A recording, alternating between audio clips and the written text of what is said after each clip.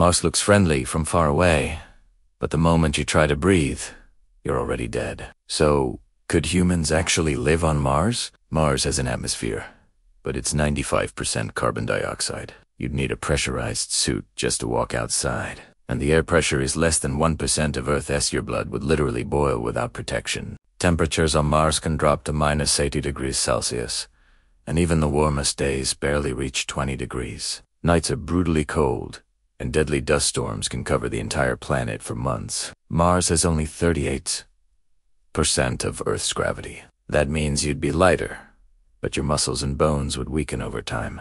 We still don't know how long-term low gravity affects human health.